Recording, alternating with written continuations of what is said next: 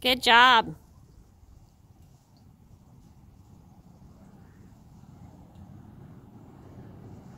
Let's halt.